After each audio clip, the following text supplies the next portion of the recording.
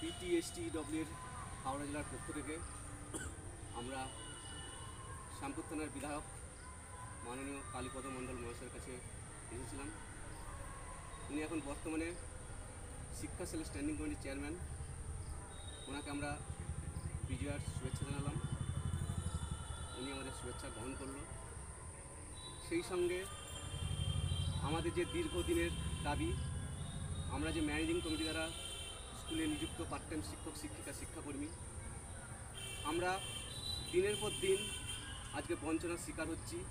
সেই বঞ্চনার অবসান ঘটানোর জন্য ওনার কাছে আজকে আমরা আবার ওনার কাছে এসেছিলাম। উনি আমাদের এই দাবিগুলোকে আগেও শুনেছে, আজকেও আমরা ওনাকে দাবিগুলো বললাম যে কলেজে যেভাবে পার্ট টাইম শিক্ষক নিয়োগ করা হয়েছে, আমাদেরকেও সেভাবে নিয়োগ করা হোক। আমাদেরকেও সরকার স্বীকৃতি দেব ষাট বছর বয়স পর্যন্ত কাজের কাজ করার এবং আমাদেরকে শিক্ষা দপ্তরে অন্তর্ভুক্ত করা হোক এবং মহিলা শিক্ষিকাদের মাতৃত্বকালীন ছুটি দেওয়া হোক। এবং যে সকল শিক্ষক শিক্ষিকাকে অমানবিকভাবে বরখাস্ত করেছে, তাদেরকে পুনরায় নিয়োগ করা হোক। এই দাবি আবার আমরা ওনার কাছে করলাম। উনি আমাদের সমস্ত কথা শুনল এবং আমরা বিগত যে শিক্ষামন্ত্রী শিক্ষা রাষ্ট্রমন্ত্রী শিক্ষা ভবন এবং বিধায়ক, এমপি সবাইয়ের কাছে আমাদের একই দাবি নিয়ে এসেছি। সকলেই আমাদেরকে বলেছে, আশ্বস্ত করেছে যে তোমাদের কথা ভাবা হচ্ছে।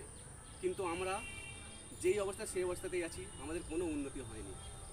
তাই আমরা আমাদের যে বর্তমান বিধায়ক মাননীয় কালীপদ মণ্ডল মহাশয়কে বললাম, আমাদের কথা একটু ভাবুন, আমরা অসহায়, অসহায়ভাবে দিন কাটাচ্ছি। আমাদের অবস্থা এখন প্রচুর করুন এখন এই উচ্চশ্রী প্রকল্প থেকে শিক্ষক শেখার জন্য আমাদেরকে অনেক শিক্ষকের চাকরি চলে যাচ্ছে। সেগুলো যাতে না হয়, আপনি একটু দেখুন, আমাদের পাশে দাঁড়ান।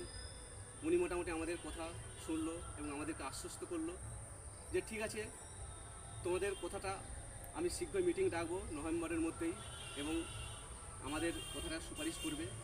সুপারিশ করে উনি সিএম অফিসে পাঠাবে। এই বলে আমাদেরকে আশ্বস্ত করল এবং আরও বলল, যাতে তোমাদেরকে কোনোদিন না বসিয়ে না দেওয়া হয়, সেই ব্যাপারেও আমি সমস্ত স্কুলের প্রেসিডেন্টের সঙ্গে কথা বলব, যাতে তোমরা স্কুলে থাকো এবং তোমাদের যেহেতু একটা পজিটিভ বার্তা আসছে। আমরা ওনার কথা শুনে খুবই আশ্বস্ত হলাম এবং ওনাকে আরও আমরা পিটিএসটি ডব্লিউ এর পক্ষ থেকে ওনাকে আন্তরিকভাবে ধন্যবাদ জানাব। সেই সঙ্গে আমরা আমাদের রাজ্যের মুখ্যমন্ত্রী মাননীয় মমতা ব্যানার্জিকেও ধন্যবাদ জানাই। উনি আমাদের কথা নিয়ে ভাবছে। এবং শিক্ষামন্ত্রী পার্থ বসু, ওনাকেও আমরা আন- আন্তরিকভাবে ধন্যবাদ জানাই যে উনিও আমাদের কথা নিয়ে ভাবছে।